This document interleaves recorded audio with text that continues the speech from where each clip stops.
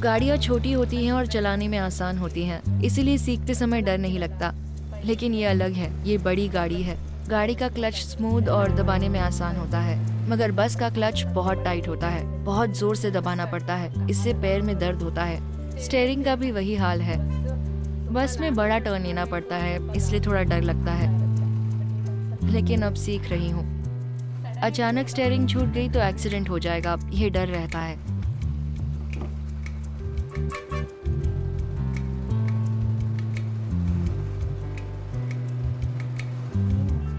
मैंने क्या हासिल किया है? मैं एक ड्राइवर हूँ। मगर ये कोई बड़ी बात नहीं है।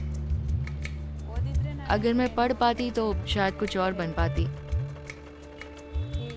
अब मैं एक ड्राइवर हूँ और मेरा एक परिवार है। इतना ही सही, पर मेरे लिए काफ़ी है।